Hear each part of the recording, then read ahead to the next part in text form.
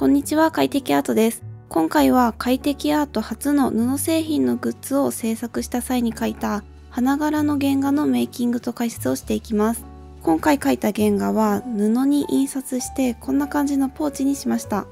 こちらのグッズは販売中ですので、よかったらチェックしてみてください。アクリル絵の具を薄塗りで使用して描いた原画ですので、こだわりや描き方のポイントをまとめてみました。それではメイキングを見ていきます。花柄はオレンジと白と赤で描きました。まずはオレンジの花のメイキングを見ていきます。鉛筆で描いた下書きの上から薄塗りで下地を塗って、それが乾いてからまた薄塗りで陰影を描いていきます。絵の具はターナーの U35 アクリリクスを使っています。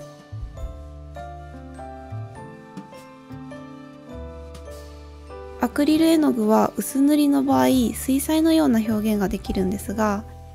水彩技法でいうリフティングといって乾いた後の絵の具を取り除いたりする作業はできません。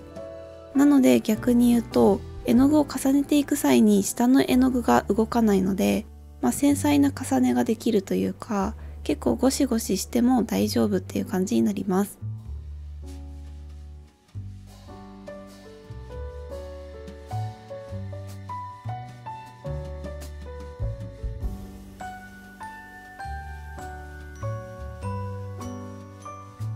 一つ注意点としては水彩より乾く時間が早いのでこういう薄塗りの場合でも結構手際よく作業していかないとこうシミになるというか綺麗にぼかせなくなってしまうというところがあります。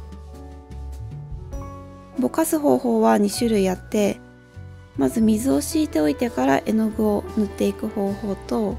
あとは絵の具を塗ってからその縁の部分を水をつけた筆で撫でてぼかすという方法があります。細かい部分については絵の具で線とかを描いてから周りのところを撫でてぼかす方法を使っています。今黄色い薄い絵の具を重ねたんですけれどもこういったすごい微妙な色の変化をつけやすいので、まあ、繊細な絵を描きたいんだけど水彩だとこう擦れて取れちゃったりとか重ねるレイヤーの数が気になっちゃうっていう方にはアクリル絵の具の薄塗りで水彩技法をするのがおすすめです。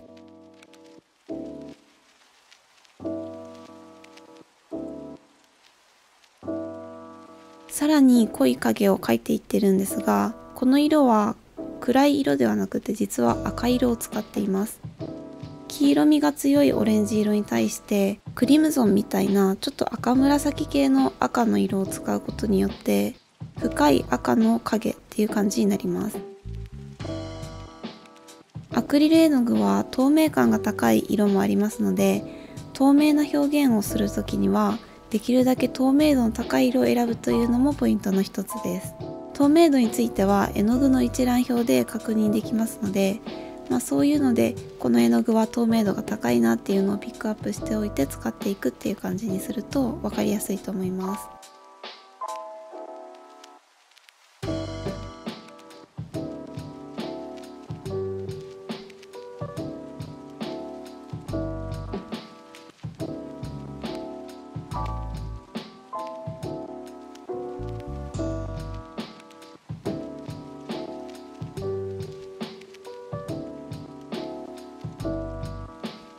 上からオレンジ色を重ねて表面を滑らかに見せていきます。これも少し水でぼかしながら塗っているんですけれども明るくしたい部分だけこのオレンジで覆い隠す作業をしていないっていう感じにしています。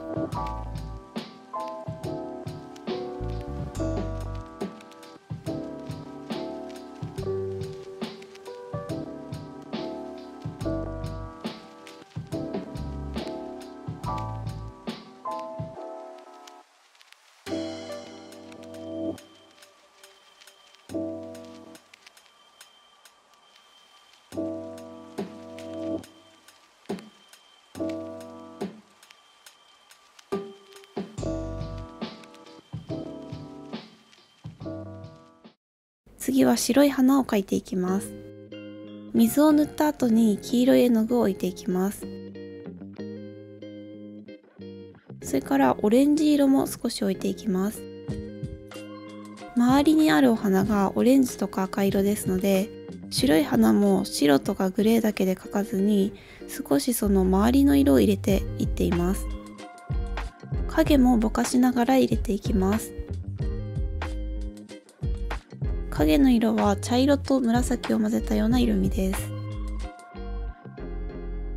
白い花を描くコツなんですけれども影の色を青っぽくするか赤っぽくするかでその花の持っている印象がだいぶ変わるような気がしています。青っぽくした場合は結構こう青白く発色するような白い花になって赤とか黄色っぽい影を描いたらこうクリーム色というか若干温かみのある白い花になります。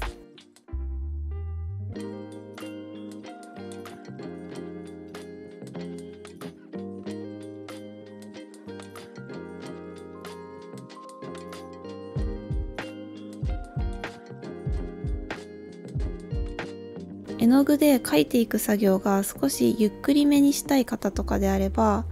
絵の具にリダーダーという乾燥を遅らせるメディウムを混ぜていただくとぼかしたり塗ったりをゆっくりすることができるようになります。アクリル絵の具の場合はそういう調節するメディウムみたいなのを加えることによって、まあ、絵の具の扱いやすさとか絵の具の質感を絵や描き手に合わせて変えることができるのがいい点です。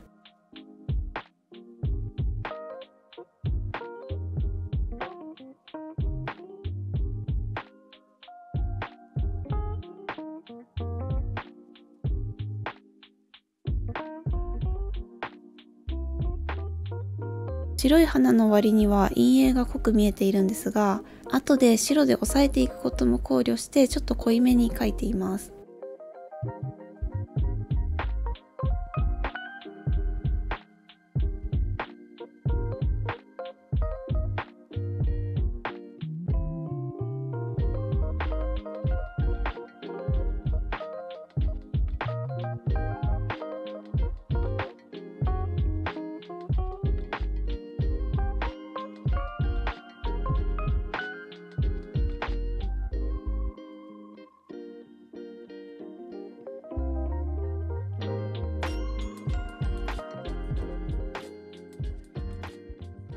白い絵の具で上から覆っていきますこういう大胆な作業をする時も下の絵の具は動かないのでやりやすいです水彩の場合だと白で覆い隠すっていうのはちょっとできないかなというか私だったらやらないかなっていう感じなんですけどまあ、あのこういうアクリル絵の具とかアクリルガッシュとかあとは日本画なんかでもよくやるというかそうすることによってこうふんわりとした感じにすることができます。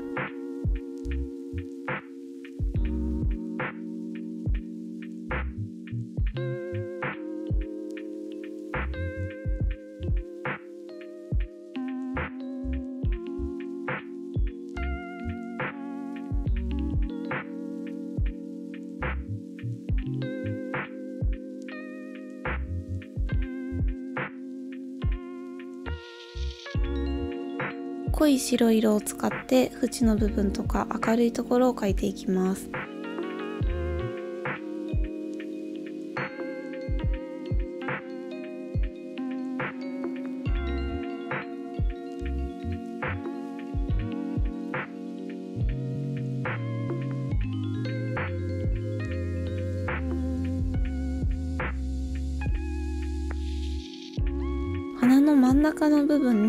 黄色い色をのせてぼかします。こういう花の中央の黄色い花粉がある部分とかに黄色を入れることによってその色がこう乱反射して花びらに当たっているような感じに見せています。実際観察するとこういう黄色い色味がところどころ入っていたりとかあとは花びらの付け根の部分にその反射して入ってたりっていうのがあるので、まあ、そういうところをこう色味を白の中にも入れていくとリアルに見えてきます。色を塗ったり白でぼかしたりを繰り返しています。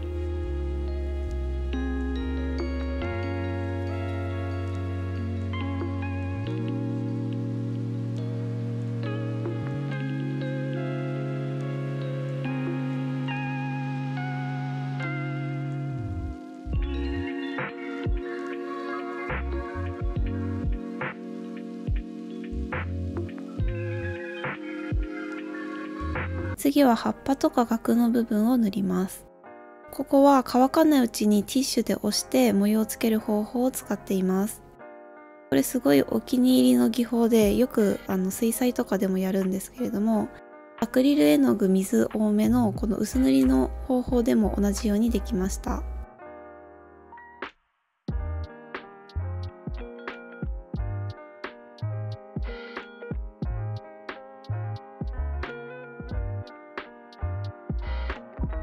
最後に花びらの縁に線画を入れていきます。すごい細かい作業でこれがかなり時間がかかりました。線が入ることによってよりパキッと形がするというのとあとは布製品に印刷した時にその方が映えるかなと思ったので線画を全て入れました。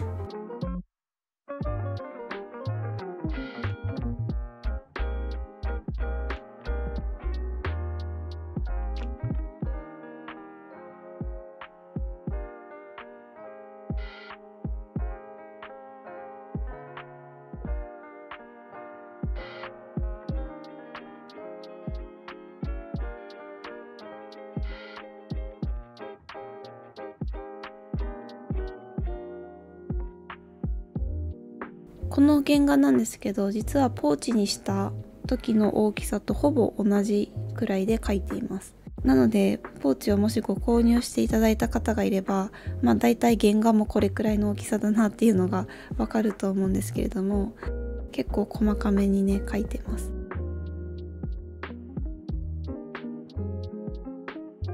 布製品に印刷すると色味が若干くすみカラーに近くなるというかまあ、布によっても変わると思うんですけれども今回はすごく厚手の帆布に印刷しているので、まあ、その分も考慮してかなり明るめに描いています。実際印刷したポーチの色味としてはちょっとくすみカラーというか落ち着きのある色合いになっています。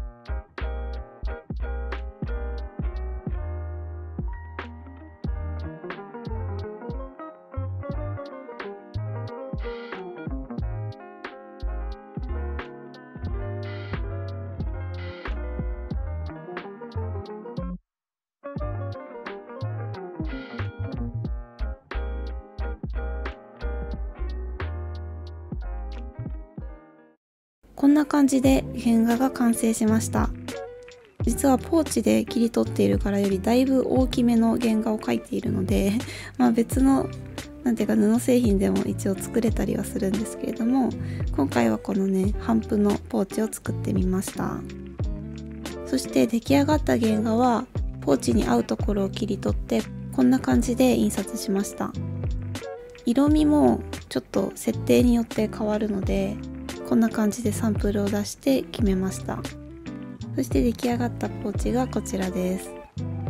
それでは今回はアクリル絵の具の薄塗り技法を使って布製品に使うための花柄を描いてみたというメイキング映像でした。よかったらアクリル絵の具を使う時の参考にしていただけると嬉しいです。また快適アートのオリジナルグッズの方も販売中ですのでもしよかったら見ていってください。それでは最後までご視聴いただきありがとうございました。また次の動画でお会いしましょう。